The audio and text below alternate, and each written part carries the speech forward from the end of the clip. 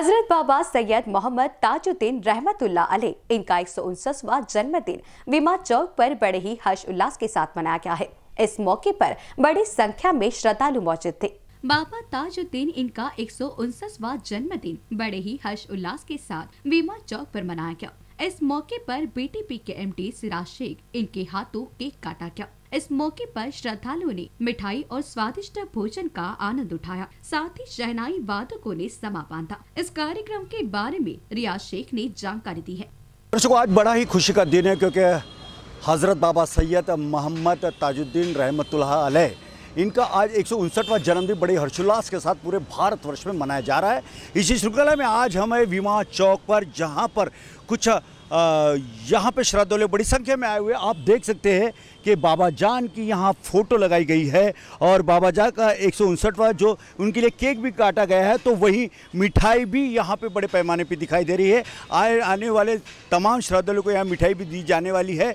इस समय में हमारे साथ में आ, रियाज भाई मौजूद है, आइए उनसे जानना चाहेंगे। सर, ये बताइए कि आज कैसा लग रहा बाबा जान का, जिस प्रकार से एक सौ जन्मदिन है, क्या कहना चाहोगे आज के इस पावन मौके पर? बाबा जान का जन्मदिन हम लोग हर साल की तरह इस साल भी मना रहे हैं। हर जगह ये तो होता है, लंगर वगैरह हर जगह होता है, लेकिन जिस तरीके से हम लोगों का लंगर हो रहा है, आप देख सकते हैं, कैमरामैन से मैं गुजारिश करूँगा कि दिखाए आप लोग, कितनी इज़्ज़त से बिठाल के हम लोग न्यास खिलाएँगे सबको। आज आप देखेंगे और हम लोग हर साल करते हैं और आगे भी करते रहेंगे। महाजन का क्रम हम पर है और बना रहेगा। ऐसी मैं दुआ करता हूँ। थैंक यू बिल्कुल। सर आप क्या कहना चाहोगे? ये हमारे लिए एक खुशखबरी की बात है कि नागपुर शहर के हर रहवासी आज सरकार ताजुद्दीन अलिया के जश्न में पूरा शहर डूबा हुआ है।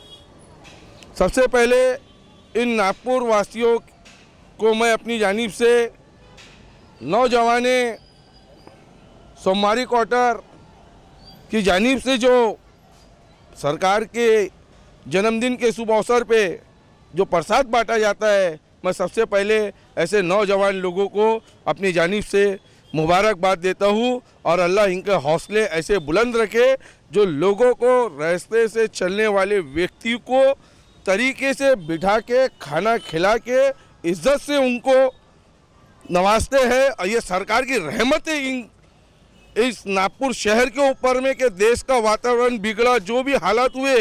लेकिन नागपुर शहर एक ऐसा शहर है, यहाँ देन है बाबा ताजुद्दीन संत की, कि यहाँ हर समाज का व्यक्ति बड़े खुशी से सरकार का जन्मदिन अपने अपने तरीके से मनाता है। ऐसा लगता है कि यहाँ एक त्यौहार हो रहा है। हर समाज अपने अपने त्यौहार को यहाँ पे बना रहे हैं। और मैं अपनी जानब से तमाम शहरवासियों को आज सरकार की जन्मदिन की हार्दिक शुभकामनाएँ देते हुए अपने दो शब्द को विराम करता हूँ। धन्यवाद।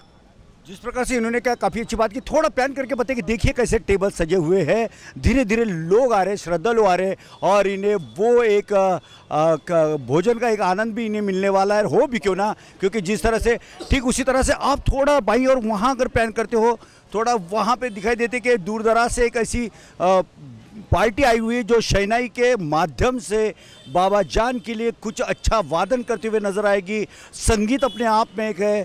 संगीत एक इबादत के तौर पे भी इसे देखा जा सकता है। और इस समय में प्रकाश ठाकरे जी हमारे साथ में उनसे जाना चाहेंगे। ठाकरे साहब, क्या कहना चाहोगे आप?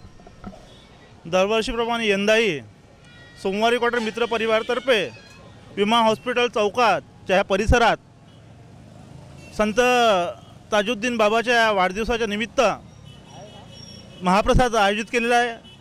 जवळपास आठ ते दहा हजार लोक इथे बसून पद्धतशीर जेवण करतात आणि आमचे सहकार्य सहकार्य जे अल्ताफ शेख जे आहे ताहिर शेख आहे आणि इतर मंत्री इतर मित्रमंडळ जे आहे सर्व दिवस रात्र मेहनत करून हा कार्यक्रम इतक्या चांगल्याने साजरा करते. आणि मी सगळ्या नागपूरवासियांना माझ्याकडून संत बाबा ताजुद्दीनच्या वाढदिवसाच्या निमित्त हार्दिक शुभेच्छा देतो. बिल्कुल. बार बार दिन ये आए, बार बार दिल ये गाए. बाबा जान, आप जो लाखों करोड़ों साल यही सभी श्रद्धालु की है ये तमन्ना. डॉक्टर विमा चौक से कैमरा पर्सन वीरेंद्र के साथ Sanjay Mire in B news Nagpur.